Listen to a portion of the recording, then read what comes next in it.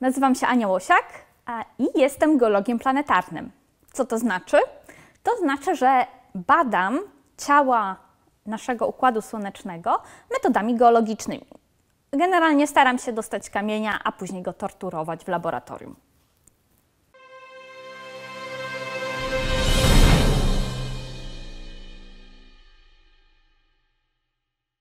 Praca może się różnić diametralnie. Są osoby, które specjalizują się e, na przykład w pracach terenowych, e, co oznacza, że jakby przez bardzo długie tygodnie e, czasem włóczą się po bardzo takich odległych od cywilizacji miejscach na świecie, zbierając kamienie, robiąc mapy i próbując zrozumieć, jak wszystko wygląda w takiej dużej skali. Inne osoby zajmują się na przykład e, badaniem e, tego, jak skały wyglądają z e, kosmosu z, albo z, z dużej wysokości, na przykład dzięki zdjęciom lotniczym. I dzięki temu znowu możemy wykonać bardzo duże analizy, analizy bardzo dużych obszarów właśnie zdalnie. E, są też inne osoby, które głównie pracują w laboratorium, co oznacza, że przez e, czasem tygodnie, czasem miesiące zbierają dane z najmniejszych fragmencików e, danej skały. To znaczy niektórzy patrzą pod mikroskopem, w jaki sposób poszczególne minerały, czyli części składowe skał, się wytworzyły, jakie mają, e, jaki mają skład chemiczny, jaki mają e, skład izotopowy i dzięki temu możemy powiedzieć, co dokładnie w ciągu czasem miliardów lat życia takiej, istnienia takiej skały przydarzyło jej się. Czyli na przykład czy powstała w oceanie, czy powstała głęboko pod ziemią, czy e, przez długi czas e, reagowała z wodą, jaka była temperatura tej wody, z którą reagowała. Na tej podstawie jesteśmy w stanie dosyć dokładnie odtworzyć, jaka była, jak wyglądała nasza własna Ziemia przed milionami, przed e, nawet miliardami lat. Jeszcze inne osoby zajmują się modelowaniem numerycznym, to znaczy próbują wtłoczyć tą wiedzę, którą mamy już teraz na temat naszej własnej planety, w takie mm, algorytmy matematyczne, które mogą nam nie tylko odtworzyć w programie, w pamięci komputera, um, różne procesy, dzięki którym możemy się im e, przyjrzeć z dużo większą szczegółowością, ale też jesteśmy w stanie jakby e, próbować estymować, co będzie się działo w przyszłości. Na przykład na tej podstawie możemy y, wiedzieć, że za kilkadziesiąt milionów lat y, Morze Śródziemne przestanie istnieć, dlatego że o ile nic się nie zmieni, najprawdopodobniej Afryka i e, Europa zderzą się ze sobą, tworząc taki e, wielki kontynent. Impaktologia. Jest to część jednocześnie geologii planetarnej, dlatego że no nie ma bardziej mm, bezpośredniego połączenia kosmosu z Ziemią niż, niż miejsce, gdzie asteroida zderza się z nami, e, ale też jest e, bardzo istotną częścią e, geologicznych badań naszej planety. Na naszej Ziemi e, mamy e, rozpoznanych do tej pory około 200 kraterów uderzeniowych, z których największy w Redaford w mm, Republice Południowej Afryki, gdy powstał, miał ponad 300 km średnicy. To prawie dwa razy więcej niż ten krater, który wykończył dinozaury 65 milionów lat temu, e, który uderzył w półwysep Yucatan w e, dzisiejszym Meksyku. E, ja jestem absolutnie największym fanem mojego, moich badań dotyczących tych organizmów ukatrupionych przez asteroidy, e, czym zajmowałam się przez ostatnie 3 lata i e, planuję zajmować się przez jeszcze jakiś czas, e, ponieważ znaleźliśmy całe mnóstwo różnych nowych, dodatkowych, ciekawych rzeczy w tym związanych. A to dlatego, że no, nie tylko tutaj śmierć w wydaniu asteroidy, więc po prostu Armagedon, no w takiej małej, małej skali, ale jednak. A z drugiej strony może te mm, fragmenty zwęglonych e, drzew, które znalazłam, e, mogą nam powiedzieć bardzo dużo na temat tego, w jaki sposób zachodzi proces powstawania kraterów e, i na Ziemi, ale też na Marsie czy na innych planetach. W związku z czym na przykład jak dzięki temu będziemy wiedzieć również, jak niebezpieczne tak naprawdę są takie niewielkie kratery uderzeniowe, którymi e, ja, w których ja się specjalizuję. E, na przykład takie jak Morasko, które e, jest pod Poznaniem. To jest jeden z, jakby z tych zaledwie 200 miejsc na Ziemi, gdzie wiemy na pewno, że 5000 lat temu walnęła asteroida i zrobiła dziury w ziemi. Jeżeli ktokolwiek jest w okolicach Poznania, to bardzo zachęcam do odwiedzenia tego miejsca.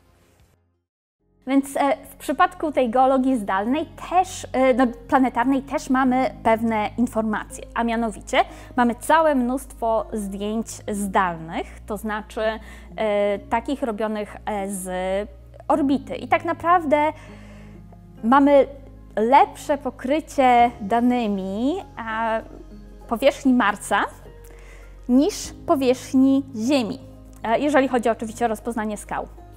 Wynika to z tego, że y, na Ziemi y, część pięknych skał jest pokryta wstrętną wodą, wstrętnymi roślinami, y, które zasłaniają nam wszyscy te, te, skały, które wszyscy chcemy oglądać. Natomiast na Marsie oczywiście wszystko jest na wierzchu, więc łatwiej można to zobaczyć. Też jest mniej e, takich e, zakłóceń pochodzących z atmosfery, która jest dużo mniej gęsta, w związku z czym wszystko lepiej widać, więc e, możemy e, właśnie zdalnie poznawać i próbować e, zrozumieć, w jaki sposób różne elementy ze sobą współpracują. Oczywiście wszystko na podstawie tego, co już wiemy i rozumiemy e, z naszych kilku już wieków studiowania geologii ziemskiej. Innym źródłem danych, jakie mamy, y, są oczywiście y, te miejsca, w których wylądowały nam jakieś misje, które mogą robić badania na bieżąco, e, dzięki czemu e, możemy odpowiedzieć na e, bardzo specyficzne pytania, które nas gnębią. Na przykład, czy była woda na Marsie, jak dużo jej było, kiedy była i inne pytania tego typu. I trzecim źródłem wiedzy, jaką mamy o Marsie, są meteoryty.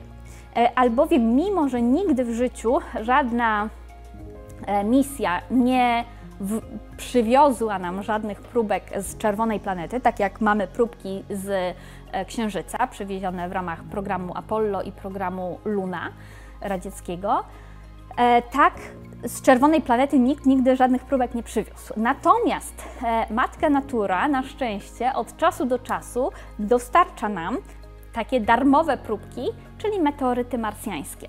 E, jedyny problem polega na tym, że oczywiście e, jakby nie wiemy skąd dokładnie one pochodzą i jest to e, spory problem w jeszcze głębszym zrozumieniu geologii Marsa, a także jakby no, nie ma tych próbek aż tak dużo, żeby je, żeby rozpoznać, czy dany meteoryt jest meteorytem z Marsa, czy, czy może meteorytem całkiem normalnym z jakiejś asteroidy.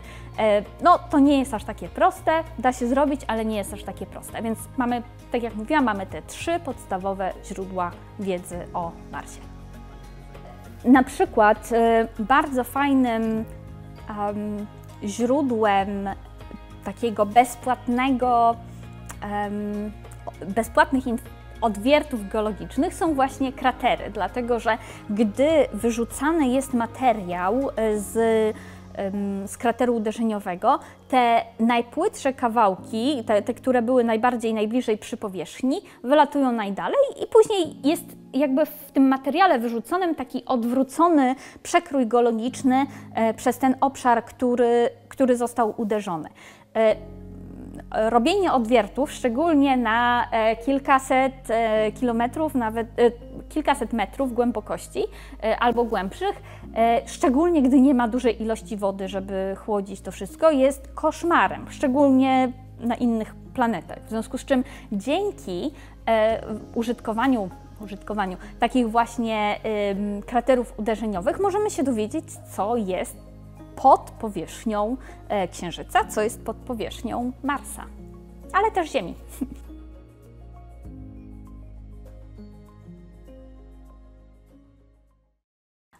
Wydaje mi się, że e, jedną z największych e, zagadek, jakie mamy w geologii planetarnej jest Wenus.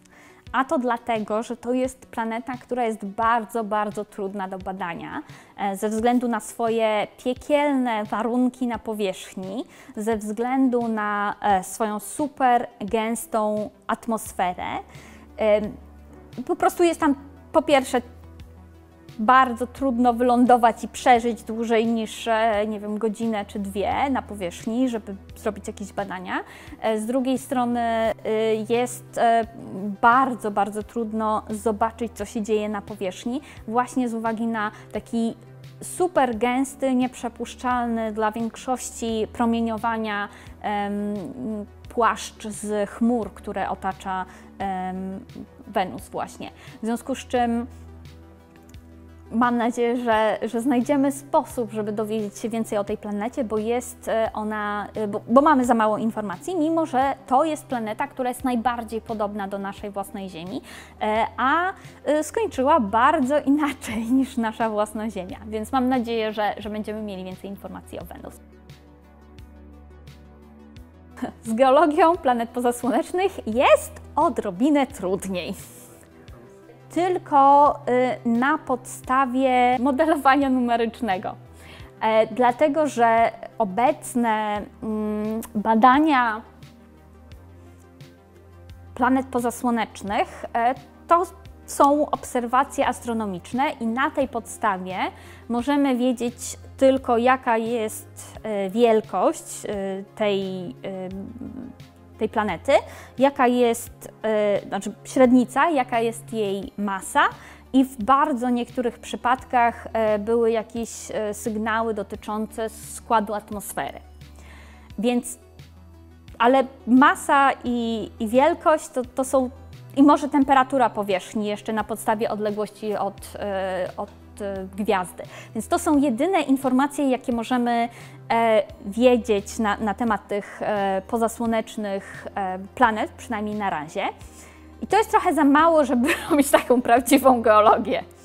Ale już teraz moi znajomi, którzy zajmują się modelowaniem numerycznym, próbują wydedukować, w jakich warunkach na przykład, jakby jakie powinny być e, skład e, chemiczny takiej e, planety, żeby na przykład wyprodukować odpowiednią ilość atmosfery, żeby wyprodukować coś podobnego do protoziemi na przykład. Więc tego typu analizy, które są wykonywane na podstawie znowu naszej wiedzy, naszego zrozumienia tej geologii planetarnej, są już robione, ale, ale jak na razie nic poza tym. No, myślę, że, że dopóki nie wyślemy e, w okolicy tej planety jakiejś, jakiejś sondy, żeby chociaż zrobiła zdjęcia z bliska, to, e, to nie będziemy mówić o, o geologii e, planet pozasłonecznych.